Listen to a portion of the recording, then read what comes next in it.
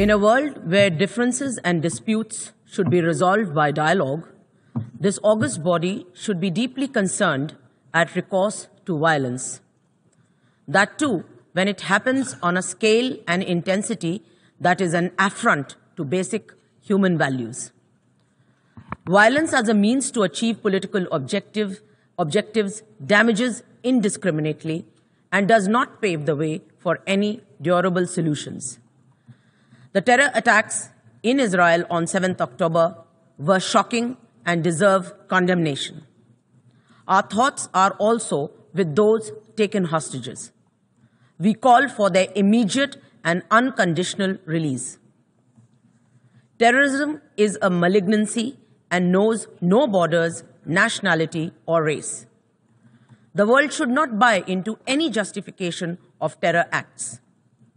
Let us keep aside differences, unite, and adopt a zero tolerance approach to terrorism. Mr. President, casualties in the ongoing conflict in Gaza are a telling, serious, and continuing concern. Civilians, especially women and children, are paying with their lives. This humanitarian crisis needs to be addressed. We welcome the international community's de escalation efforts and delivery of humanitarian assistance to the people of Gaza. India, too, has contributed to this effort. Mr. President, India is deeply concerned at the deteriorating security situation and astounding loss of civilian lives in the ongoing conflict. The escalation of hostilities in the region will only exacerbate the humanitarian crisis. It is necessary for all parties to display the utmost responsibility.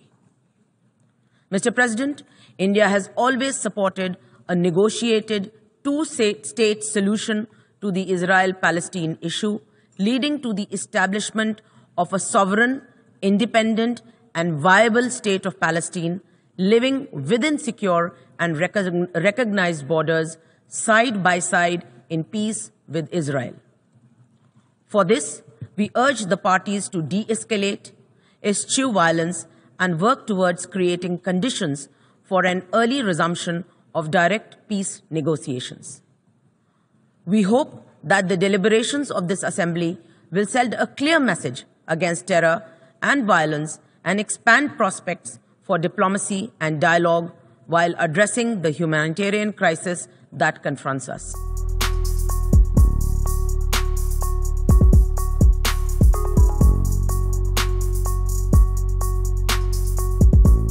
आज जिस तरीके से तटस्थ रही है भारत सरकार, इस vote में यूनाइटेड नेशन जनरल असेंबली में, ये हमारी परंपरा, जो हमारे देश की विदेश नीति रही है फलस्तीनियों के कॉज के साथ, उसका एकदम विपरीत है।